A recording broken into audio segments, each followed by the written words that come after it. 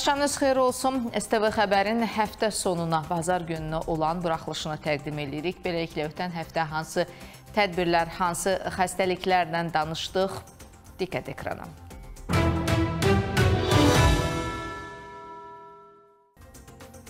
İnsan orqanizminə, xüsusən də uşaqlara neqativ təsir edən müasir tikinti materialları artıq hər binaya, evə ayaq açıb. Ucuzdur, asandır, sərfəlidir, dəbdədir deyib evlərimizi əslində xəstəlik yuvasına çeviririk. İnsanlar tikinti materialları alarkən onun təhlükəsizliyi barədə heç bir sertifikat, laboratoriya rəyi tələb eləmirlər.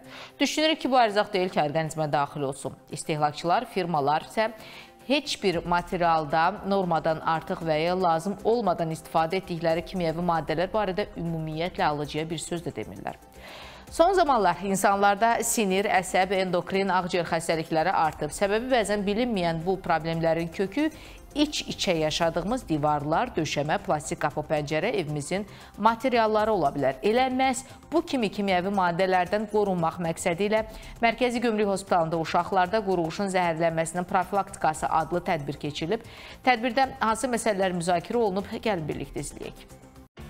Müasir dövrdə inkişafın bu qədər sürətli olmasında kimyəvi maddələrin də rolunu danmaq olmaz. Ən güvənli yerimiz olan evimizin içinə qədər girən kimyəvi maddələr insan orqanizmində bir çox xəstəliklərin yaranmasına, həmçinin zəhərlənmələrin artmasına səbəb olur. Məhz bu kimyəvi maddələrdən qorunmaq məqsədi ilə Mərkəzi Gömrük Hospitalında uşaqlarda qurğuşunun zəhərlənməsi profilaktikası mövzusunda dəyirmi masa keçirilib. Qeyd edək ki, Ümumdünya Səhiyyə Təşkilatının, Birləşmiş Millətlər Təşkilatının bir sıra qurumların qurğuşun boyalarının qadağan edilməsi üzrə qlobal Alyansın həyata keçirdiyi tədbirlərə baxmayaraq, təəssüflər olsun ki, qurğuşun tərkibli boyaların istehsalı, daxili və istifadəsi bir çox ölkələrdə, o cümlədən Azərbaycanda da hələ davam edir.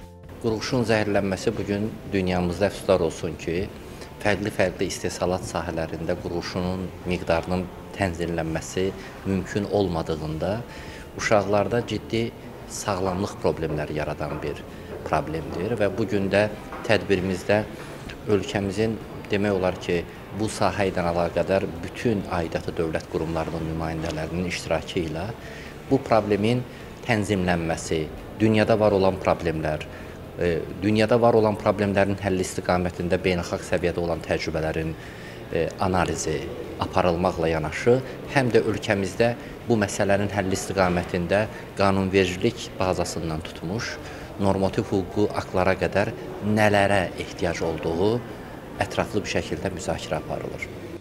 Tədbirdə bildirildi ki, bu kimi boyaların satışı qanunvericilik vasitəsilə tənzimlənə bilər. Belə bir qanun layihəsi də hazırlanıb və bu məsələ barədə müzakirələr davam edir. Tədbirin gedişatında uşaqlarda qurğuşun zəhərlənmələri barədə ətraflı məlumat verildi. Bu kimi maddələrin qarşısının alınması yollarından danışıldı. Azərbaycanda qurğuşun boyaların tənzimlənməsi hazırki vəziyyəti və bu sahədə əldə olunan irəliləyiş barədə fikir mübadiləsi aparıldı. Qurğuşunun ən çox istifadə olunduğu istehsal sahələrindən biri və hər gün qarşımıza çıxan hadisələrdən biri boya sənayesində, hansı ki, hər birimizin evində istifadə olunan boyanın içindəki qurğuşun miqdarının çox olması bilmədən evimiz ən güvənli saydığımız yerdə uşaqlarımızın zəhərlənməsinə gətirib çıxarır oyuncaqların içərisində olan qurğuşunun miqdarı əfsuslar olsun ki, dünya üçün hal-hazırda böyük bir təhlükədir. Əlbəttə ki, fərqli-fərqli sahələr üzrə olan ekspertlərin fikir mübadiləsi ilə işin daha effektiv və səmərəli e, həll olunma yolları e, düşünürəm ki, tapılacaq və bizlər də dünyada var olan bu tendensiyaya həm qoşulmaqla, həm də gələcək nəsillərimizin sağlamlığı yönündə kiçik də olsa bir töhfə vermiş olacaq. Qeyd edək ki, Azərbaycan Səhiyyə Nazirliyinin, Azərbaycan Tibb Universitetinin, Azərbaycan Respublikası Ekologiya və Təbii Sərvətlər Nazirliyinin, Ümumdünya Səhiyyə təşkilatlarının və digər təşkilatların nümayəndələri iştirak edirlər. Dəyirmi masada tərkibində qurğuşun olan boyaların insan sağlamlığına, xüsusilə də uşaqların səhhətinə mənfi təsiri ilə bağlı aktual məsələlər, boyalarda qurğuşun miqdarının tənzimlənməsi və ona nəzarət sahəsində digər ölkələrin əldə etdiyi nailiyyətlər, eləcə də bu istiqamətdə artılacaq zəruri addımlar müzakirə olundu. Tədbir iştirakçıların maraqlı müzakirələri ilə başa çatdı. Fərid Yusif, Tapdıq Afətoğlu, STV xəbər.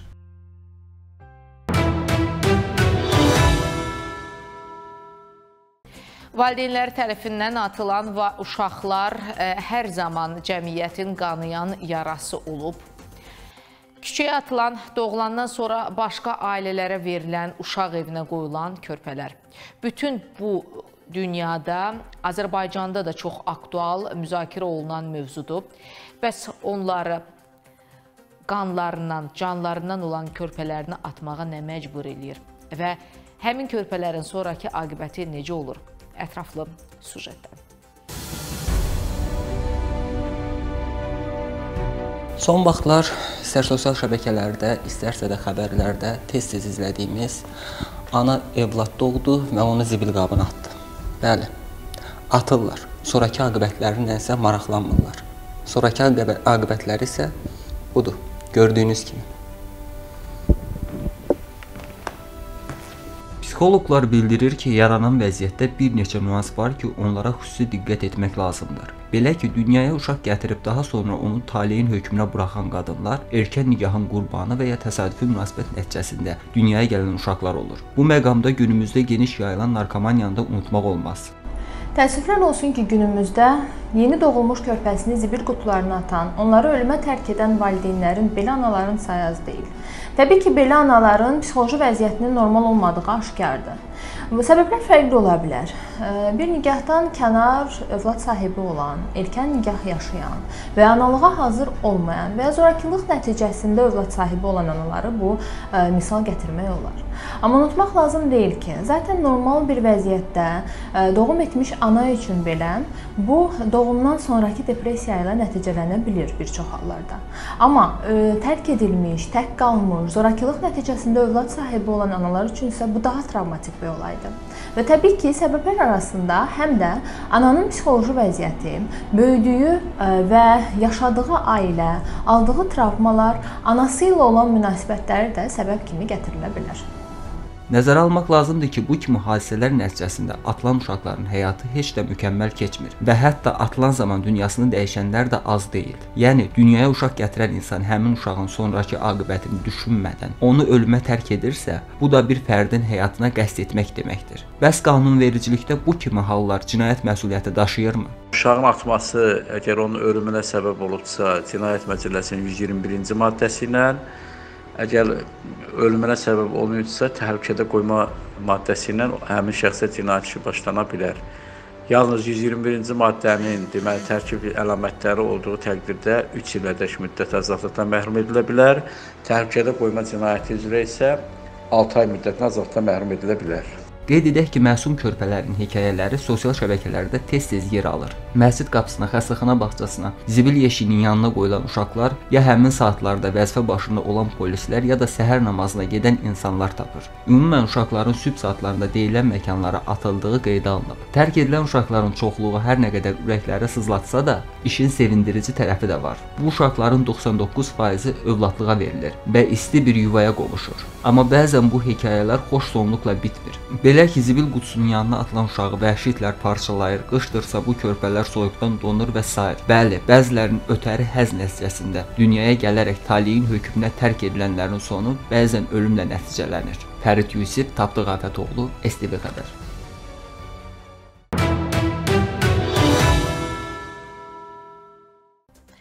Daha çox yaşlılıq xəstəliyi olaraq tanınan sarı nöqtə xəstəliyi gizli olaraq irəliləyir və çox vaxt xroniki xarakter daşıyır. Xəstəlik bir və ya iki gözdə də yarana bilər. Xəstəlik günümüzdə bərpa oluna bilməyən görmə itkisinin əsas səbəblərindən biri olaraq bilinir. Aparılan araşdırmalara görə ispanaq, brokoli kimi tünd yaşıl yarpaqlı tərəvəzlərlə qidalanan insanlarda sarı nöqtə xəstəliyi daha az görülür.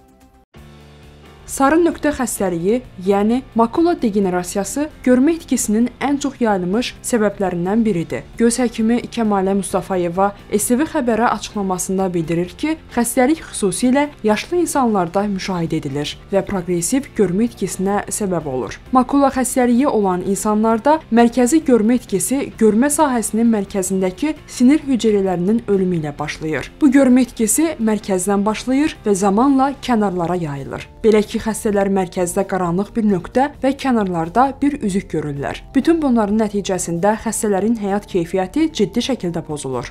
Sarı nöqtə xəstəliyi bizim tor qişamızın xəstəliyidir. Daha çox yaşlı insanlarda rast gəlinir. Adətən 70 yaşdan sonra, 65-70 yaşdan sonra biz daha çox bu xəstəliyə rast gəlirik. Canlı nöqtə xəstəliyi zamanı pasientlərin əsas şikayəti görmələrinin zəif olması və sanki göz önündə sarı ləkənin olması hissiyatı ilə bizə müraciət edirlər və bir də sarı nöqtə xəstəliyinə daha çox zərərli vərdişləri olan tütün məhsullarından çox istifadə edən pasientlərdə rast gəlirik. Makula degenerasiyasının ən çox görülən forması atrofik tipdir və bu qrup tip makula degenerasiyası da adlanır. Bu tipdə görmə itkisi illər ərzində inkişaf edir. Həkim qeyd edir ki, başlanğıc mərhələdə xəstəliyin müalicəsi mümkündür və görmə itirilməsinin qarşısı alınır. Gec mərhələdə müraciət edən zaman təəssüf ki, müalicəsi bir qədər çətinlik törədir. Ümumiyyətlə bu xəstəliyin, yəni sarı nöqtə xəstəliyinə həmçinin makulyar degenerasiya da deyilir. Bunun özünün də növləri vardır, quru tipi vardır, yaş tipi vardır. Qeyd etdiyim kimi, əgər vaxtında müraciət olunarsa, yəni quru tip yaş tipə keçməmiş hallarda müalicə olunur və görmə zəifləməsi, görmə itirilməsinin qarşısı alınmış olur. Ehtiyac olarsa biz belə pasientlərə xüsusi göz üçün faydalı olan vitaminlər təyin edirik, yaxud da daha ağırlaşmış formalarda göz daxili inyeksiyalar təyin olunur, lazer prosedurları icra olunur. Təəssüf ki, ağır formalarda müraciət edərlərsə, onda müalicə bir qədər çətinləşmiş olur və görmənin azalmasını yaxud da ki, itirilməsini bərpa etmək mümkün olmur. Görünüşündən biraz daha sarımtıl olduğu üçün sarı ləkə də deyilən bu xəstəlik yaşa görə inkişaf edir. Sarı nöqtə xəstəliyi oxumaqda çətinlik, zəif görmə, əyri və pozulmuş görmə kimi şikayətlərlə başlayır. Xəstəliyin risk faktorlarına gəlincə isə zərərli vərdişləri olanlar, tütündən istifadə 65-70 yaşdan sonra bu xəstəliyə daha çox rast gəlinir. Sarı nöqtə xəstəliyi eyni zamanda genetikdir. Şahnun Qasımova, Səbuhi Mustafayev, STV xəbər.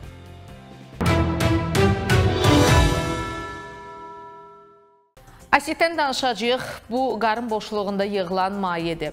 Əksər hallarda mayenin toplanması ilə qarının şişməsi bir neçə həftə çəkir, lakin bəzi hallarda cəmi bir neçə günə də çəkilə bilir. Daha ətraflı materialdan.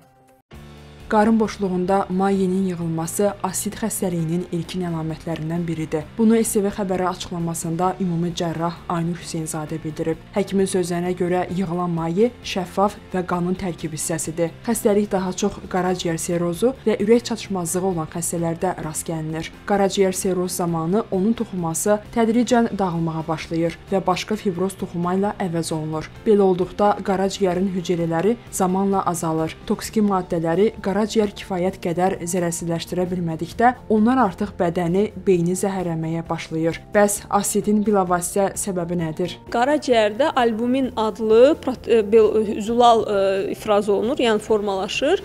Bu albumin deməli qanın tərkib hissəsini, plazmanı damarlarda onkotik təzyiq yaradaraq damarlarda saxlayır və təbii ki, albuminin sayı azaldıqda onkotik təzyiq də aşağı düşür və ə, damarlarda olan o maye, yəni plazma artıq ə, damarların divarından yavaş-yavaş başlayır boşluqlara yığılma.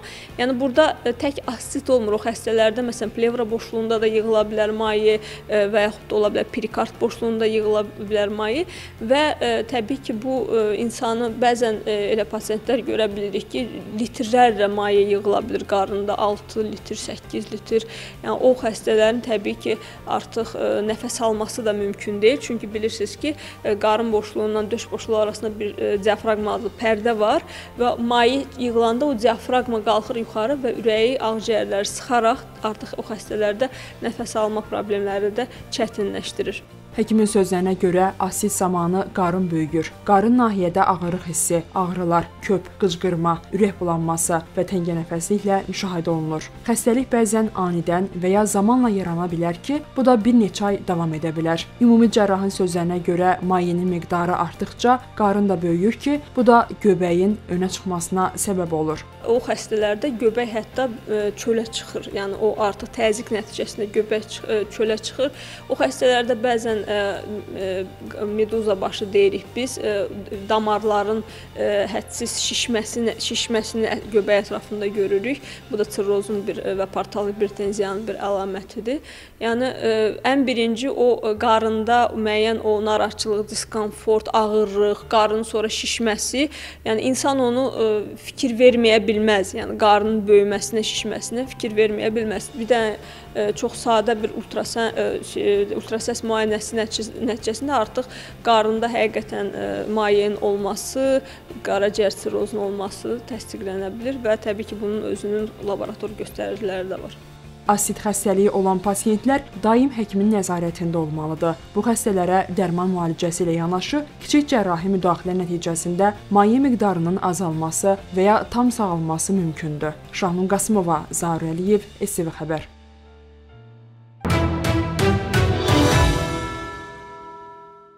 Təəssüflər olsun ki, günümüzdə çoxları nevrozun əziyyət çəkir. Gündəlik qayğılar, stres faktoru, yuxusuzluq kimi faktorlar nevrozun yaranmasında əsas sayılsa da, əslində orqanizmdə heç bir patologiya olmadan meydana çıxır bu xəstəlik.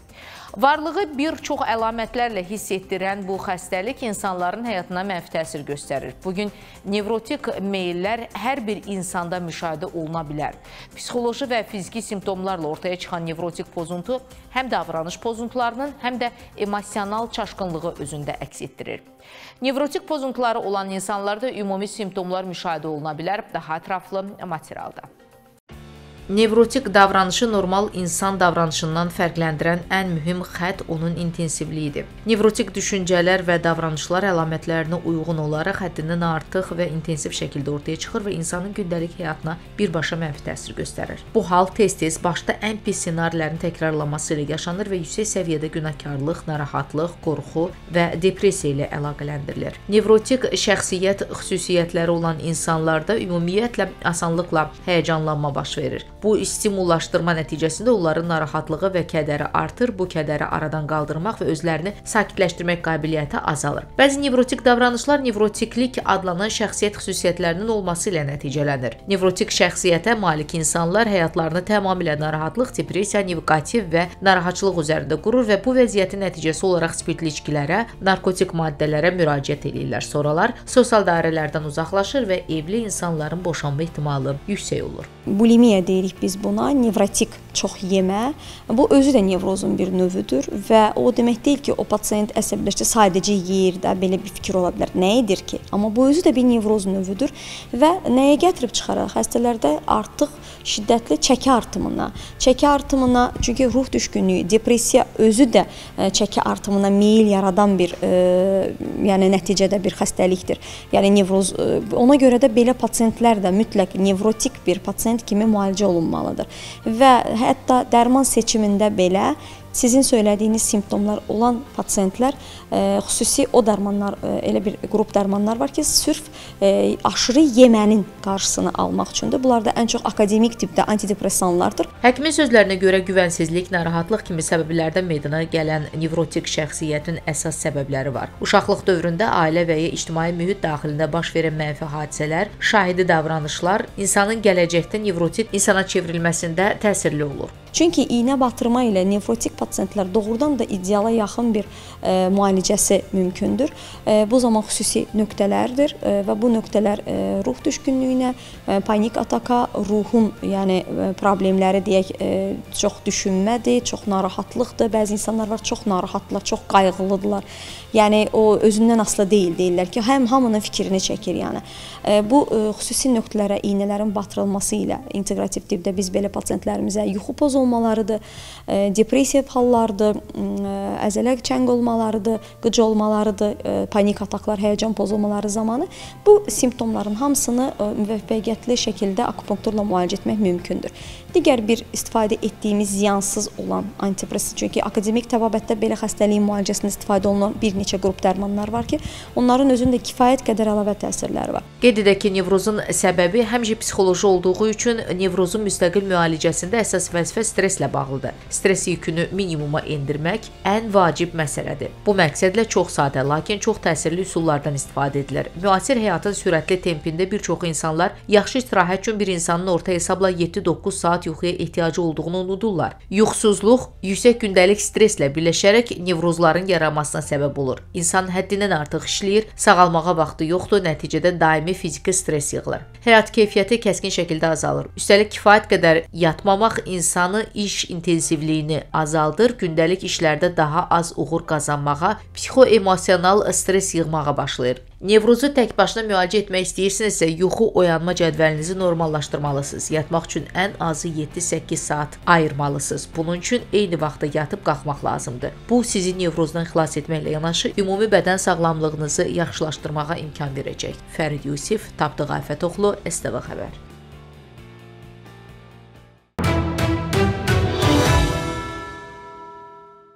Antibiotiklər yəqin ki, hər birimizə tanış ifadədir. Bir azacıq soyuqlan kimi və yaxud da ağrıyan kimi üst tuturuq antibiotikə. Heç həkim məsləhətini, həkim reseptini də gözləmirik. Bəs əslində antibiotiklər e, kimlərə olar, kimlərə olmaz? Əslində onun funksiyası bir sıra mikroorqanizmlərin onları əhatə edən mühitdən başqa mikrobların çoxalmasını və inkişafını dayandıran xüsusi aktiv maddələr ifraz etməsindən ibarətdir. Çoxları həkimə müraciət etmədən birbaşa antibiotik alaraq özünü müalicəyə başlayır. Əslində bu tendensiya COVID-19 pandemiyasından sonra daha geniş yayıldı. Mütəxəssislər isə bildirirlər ki, antibiotiklər mikroorqanizmlərlə bakterial infeksiyaların törədiciləri ilə mübarizə üçün yaradılıb. Onlar mikroorqanizmlərin strukturuna dağıdıcı təsir edir və çoxalmasına mane olurlar. Amma bakteriyaların heç də hamısı sürətlə məhv olmur. Bəzi dərmanlar effektsiz, hətta təhlükəli ola bilər. Bu dərmanlar lazımsız istifadə edildikdə orqanizmin patogen mikroorqanizmlərə qarşı müqavimətini azaldır, müalicəni çətinləşdirir. Antibiotiklərdən istifadə həkim tərəfindən xəstənin xüsusiyyətlərinə və xəstəliyə səbəb olan bakteriyaların quruluşuna uyğun olaraq tövsiyə olunur. Bəs antibiotik seçimində nəyə diqqət etmək lazımdır? Azərbaycanda xüsusən müşahidə etdiyim e, çox e, düzgün şəkildə antibiotikə yanaşmalar düzgün şəkildə bilmənlər şəkildə deyil. Çox vaxt virus infeksiyalarına da antibiotik e, xəstələr öz başına istifadə etməyə başlayır evdə. Biraz qızdırması olan kimi, birazcıq boğaz ağrıyan kimi. Ancaq bu düzgün bir yanaşma deyil. Öncəliklə xəstə həkimə müraciət etməli və həkim ayırd etməlidir ki, bu bir virus infeksiyasıdır yoxsa bakterial infeksiyadır. Əgər bakterialdırsa və xəstəyə həqiqətən ehtiyac varsa, biz ona uyğun antibiotik, yəni bu xəstə xəstənin hardadır infeksiyası, ona uyğun antibiotik təyin edirik. Əgər virusdursa, e, təyin edəcəyimiz antibiotik heç bir işə yaramaz. E, mexanizması gərəyi işə yaramadığı üçün də hər hansı bir ondan istifadə e, uyğun deyil. Niyə deyirsiniz ki, bu çox önəmlidir? Çünki antibiotin normadan artıq biz istifadə etdiyimiz zaman bu səfər antibiotikdə dirənc yaranır. Ona qarşı bir dirənc yaranır. Yəni biz gələcəkdə xəstəyə hə, həqiqətən də ehtiyac olduğu zaman biz antibiotik təyin etdiyimiz o xəstəyə işə yaramır. Çünki artıq dirənc yaranır və biz məcbur oluruq daha güclü, daha fərqli antibiotiklərə keçməyə. Antibiotik qəbulu bəzi insanlarda antibiotik allergiyası kimi tanınan problemlərə səbəb ola bilər. Belə hallarda dəridə qaşınma, səpgilər, tənəffüs çətinliyi, qan təzyiqinin qəfil azalması, ürək döyüntülərinin tezləşməsi, huşun itirilməsi kimi allergik simptomlar yaranır. İshal, qəbizlik, ürək bulanma, qusma, şişkinlik, həzmsizlik, iştahsızlıq və qarın ağrısı kimi həzm sistemi pozğunluqları antibiotiklərin zərərli təsirləri sırasında yer alır. Birincisi vaxt itkisi. Məsəl üçün xəstə o həmin antibiotik bu xəstə üçün uyğun deyil e, və yaxud da oradakı olan infeksiya üçün uyğun deyil və siz antibiotik gərəksiz istifadə edirsiniz və sizin öz şikayətləriniz də həddən artıq artmağa başlayır, daha ciddi vəziyyət alır. İkinci dediyim, vurğuladığım şey çox-çox eyni e, antibiotik istifadə etdiyi zaman orada dirənc yaranır və biz ehtiyac olduğunda ondan o faydanı görə bilmirik. Üçüncü antibiotik allergik bir e, preparatdır. Bunu e, xüsusən iynə formalarını, damarda olan formaları həkim nəzarətsiz evdə öz başına təyin etmək ciddi allergik reaksiyalara gətirib çıxarda bilər və bu da xəstənin həyatı təhlükəsinə gətirib səbəb ola bilər. Antibiotiklər zərərli bakteriyaları məhv etməklə yanaşı, vitaminlərin sorulmasına və qidanın həzmini təmin edən faydalı bakteriyaları məhv edərək immunitet sisteminə mənfi təsir göstərir. Bağırsaq florasına təsir edən bu vəziyyət piylənmə və ya həddindən artıq arıqlama yağma kimi metabolik pozğunluqlara səbəb ola bilər. Şahnun Qasımova, Səbuhi Mustafayev, STV xəbər.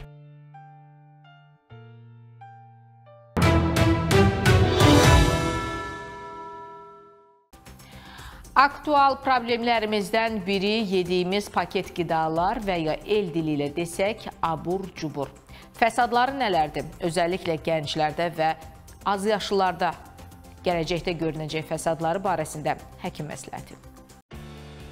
Dövrün ən aktual sağlıq problemlərindən biri də piylənmədir. Piylənmə bədəndə sağlamlığa xələl gətirərək artıq yağ yığılması olaraq təyin olunur. Diabetdən ürək xəstəliklərinə, sonsuzluqdan xərçəngə qədər olan bir çox xəstəliyə səbəb olan, eyni zamanda müalicə edilə bilən bir xəstəlikdir. Dietoloq Aysel Əhmədova STV xəbər açıqlamasında bildirir ki, piylənmə daxili və xarici faktorlar nəticəsində meydana gəlir. Həddindən artıq və ya yanlış qidalanma vərdişləri, oturaq həyat, genetik ötürülmə və hormonal faktorlar artıq çəkiyə səbəb olur. Bəs piylənmə hansı yaş qruplarında özünü göstərir? Son illərdə piylənmə ümumi olaraq bütün yaş qruplarında özünü göstərir. Buna səbəb bir sıra faktorlardır. Əsasən xarici faktorlardır, yəni ekzogen faktorlardır ki, bu da həyatımızda yeni e, sadə karbohidrat tərkibli qidaların aşırı miqdarda olması, bu e, şirniyyatlar, un məmulatları, energetik içkilər, dadlandırıcılar, bu e, xarici faktorların təsiri nəticəsində bir də var daxili faktorların təsiri bir sıra xəstəliklərdən yarana bilər. Pozulmuş psixoloji faktorlar pilləmənin əsas səbəblərindən biri ola bilər.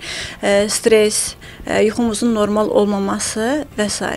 Həkimin sözlərinə görə valideynlər məktəb yaşlı uşaqlara el dili ilə desək, abur-cubur, paketlənmiş fast food qidalar verirlər. Bu isə öz növbəsində uşaqların daxili sağlamlığına, zehni inkişafına mənfi təsir eləyir. Araşdırmalara görə xüsusilə burgerlərdə istifadə olunan ət məhsullarının, qurudulmuş kartof dilimləri, qovurulan çərəzlərin, alkoqol, tütün kimi məhsulların asılılıq yaratdığı bildirilir. Tədqiqatçılar ultra emal olunmuş qidaların birləşmələrinin beyin sistemini poza biləcəyini bildirir. Ultra emal olunmuş qidaların ürək xəstəlikləri, yüksək təzyiq, xərçəng, depressiya və diabetə səbəb olduğu da aşkarlanıb. Ümumiyyətlə bütün paketli qidalar, abur-cuburlar qeyd etdiniz. Bunlar hər biri aşırı miqdarda qəbul edildiyində bizim insulin hormonumuzun yüksəlməsinə səbəb olur.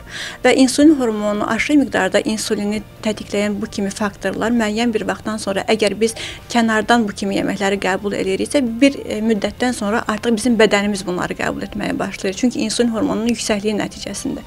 Və ona görə də valideynlər də fərqinə vararaq, yəni bu kimi qidaların uşaqların pillənməsini piylənməsinin əsas səbəbi olduğunu və eyni zamanda hətta piyləmə olmasa belə ə, daxili olaraq hormonal pozulmalarına səbəb ola bilər.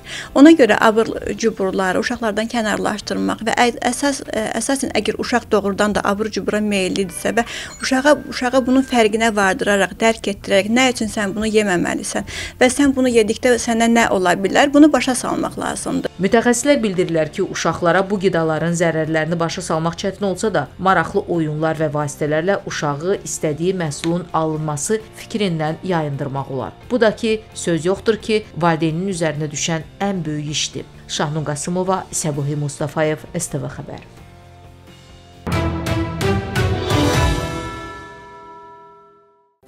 Hamiləlikdə tez-tez rastlanan ağırlaşmalardan biri də anemiyadır. Hamiləlikdə yaşanan anemiyanın 90%-i dəmir çatışmazlığı ilə bağlı olur. Bu xəstəlik qadın bədənində hemoqlobin çatışmazlığının xəbərçisidir. Məhz hemoqlobin sayəsində orqanlar və ya döl toxumasına oksigen daşınır. Hamiləlikdə yaşanan anemiyanın ağır, orta, yüngül dərəcələri var. Anemiyanı nəinki ananın səhhətinə, həmçinin körpənin səhhətinə də təsirləri, mənfi təsirləri var. Qadınların bəzən qeysəriyyə əməliyyat olunması, yenidən qan itirməsi onlarda anemiyanın yaranmasına gətirib çıxarır. Bu sözləri STV xəbər açıqlamasında terapevt Sübhan Hacıyev bildirib. Həkimin sözlərinə görə hamiləlikdə anemiyanın qarşısını almaq üçün bol maye qəbul etmək vacibdir. Qeyd eləyək ki, hər bir qadının orqanizmi fərqli olduğu üçün hamiləlik prosesləri də fərqlidir. Hamiləlik dövründə ən çox dəmir çatışmazlığı anemiyasına rast gəlinir. Dəmir oksigen daşıyan hemoqlobinin əsas mənbəyidir və bu hamilə qadınların 20%-də baş verir. Bununla belə dəmir çatışmazlığı, B12 vitamini çatışmazlığı, xroniki xəstəliklər, qalxana bənzər vəz xəstəlikləri və ya talasemiya kimi irsi xəstəliklər də anemiyanın yaranmasına səbəb olur. Hamiləlikdə və uşaqlarda ümumiyyətlə daha çox gördüyümüz bir e, durumdur qan azlığı. Hamilə qadınlara bildiyimiz kimi hamiləlik dönəmi başladıkca artıq ümumi dövrənlə qanın həcmi fizioloji olaraq artmağa başlayır. Bir çox xanımlarımız doğru düzgün qidalanmadıqda və yetəri qədər maye qəbul etmədikdə dəmir defisitli anemiya düçar olurlar və qandakı dəmirin və eritrositlərin, qırmızı qan hüceyrələrinin azalması baş verir. Bu da hamilələrdə xroniki anemiyaya gətirib çıxarır. Bəzən də onların doğuş zamanı qeysəriyyə əməliyyatı olunması, yəni bu cərrahi üsulla uşaqlarını dünyaya gətirməsi yenidən əlavə bir qan azlığına və qan itkisinə səbəb olduğu üçün bu xroniki anemiya uzana-uzana gedir və bəzən də artıq müalicə eləmək də aylarımızı alır. Anemiyası olan hamilə qadınlarda adətən anemiya özünü baş gicəllənmə ilə göstərir. Mütəxəssislər bildirirlər ki, hamilə qadınların döldə qırmızı qan hüceyrələrini yaratmaq üçün normadan 2 dəfə çox dəmir ehtiyacı var. Terapevt qeyd edir ki, anemiya bədxassəli şişlərin yaranmasına səbəb ola bilər. Qan azlığı e, bədxassəli şişlərin ilkin əlamətləri ola bilər. Çünki burada e, hemoglobinlə, yəni dəmirin zülalla birləşməsində bir problemlər yaranır və nəticədə bir çox həm xroniki xəstəlik anemiyası dediyimiz bir durumlar var. Necə ki, mədə bağırsaqların xroniki xəstəlikləri, eyni, ilə də xərçəng xəstəliklərinin bir çox növündə çox ciddi şəkildə tədricən yaranan bir qan azlığı olur. Bu üzdən burada artıq əsas diaqnoz qan azlığı və anemiya deyil də altda yatan səbəbi araşdırıb müalicə edəndə anemiyada düzəlmiş olur. Qeyd eləyək ki, hamiləlik dövründə anemiyanın ən mühüm riski vaxtından əvvəl doğuş və körpənin az çəkisidir. Bundan əlavə, doğuşdan sonra uşaqlıq yolunda inkişafın ləngiməsi, infeksiyanın artması və sağalmanın gecikməsi kimi hallar da anemiyanın təhlükəli nəticələridir. Şahnun Qasımova, Səbuhi Mustafayev, STV xəbər.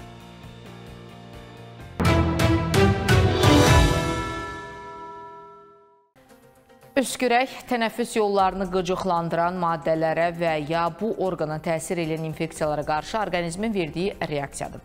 Allergik reaksiya və ya xəstəlik vəziyyətində bu hissədə yerləşən sinirlər beyinə siqnal göndərir. Beyin qarın əzələlərini və döş bölgəsində yerləşən əzələlərə xəbərdarlıq eləyərək qıcıqlandırıcıların ciyərlərdən gələn güclü hava ilə bədəndən atılmasını təmin etməyə çalışır. Qrip kimi infeksiyalı xəstəliklərdə baş verən öskürək normal və sağlamdır.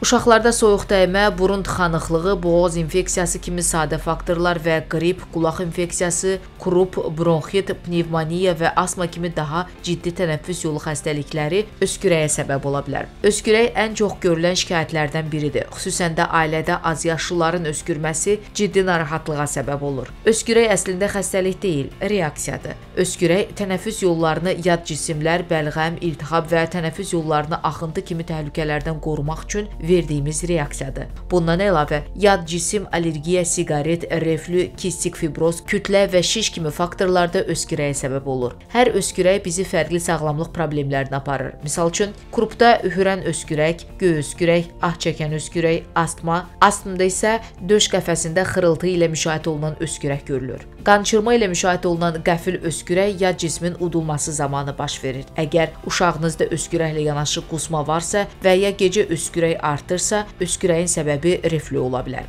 Xüsusilə yuxarı tənəffüs yollarının infeksiyalarına bağlı öskürəklər də gecələr müşahidə olunur. Öskürək tıxac refleksini stimullaşdıra və qusmağa səbəb ola bilər. Qusmanın davam etməməsi heç bir problemin olmadığını göstərir. Uşaqlarda mövsümlə bağlı, mövsüm dəyişkənliyi ilə bağlı viral infeksiyalara, respirator sinsital virus infeksiyalarına, eləcə də digər e, infeksiyalara rast gəlmə tezliyi e, çoxaldıqda onlarda öskürək simptomları, digər kataral əlamətlər, burundan serikli ifrazatın axması, gözlərdə sulanma, iştahsızlıq, halsızlıq, əsnəylik premiyası və s. bu əlamətlər olur və uzun sürən bir e, öskürək olur. Bu xüsusən hansı uşaqlarda daha tez-tez rast gəlinir?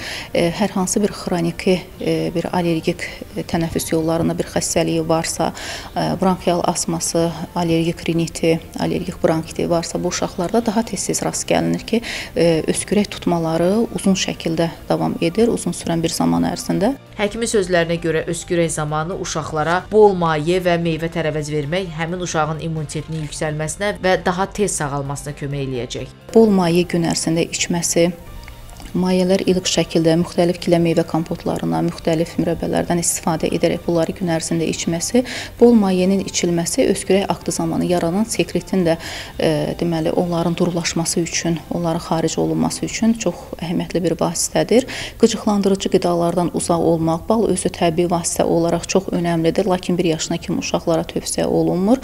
Gün ərzində burun boşluğunun, xüsusən burun boşluğunda qrip e, infeksiyası zamanı yaranan burunun arxa divarındakı ifrazat e, boğaza, ağız boşluğuna axaraq orada uşaqlar yatan vəziyyətdə gecə öskürək tutmalarını bu qıcıqlandıra bilər, provokasiya edici bir faktor ola bilər.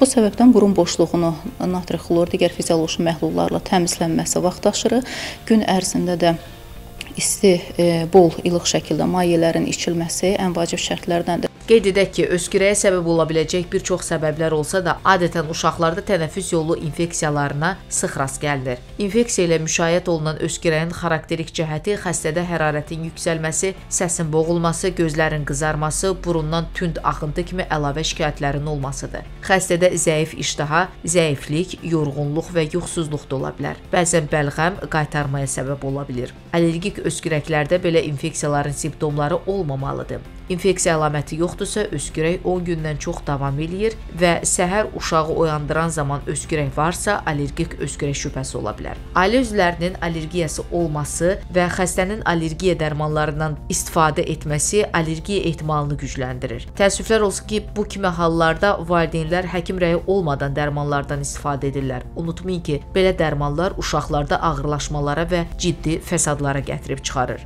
Fərid Yusif, Səbuhi Mustafayev, STV xəbər.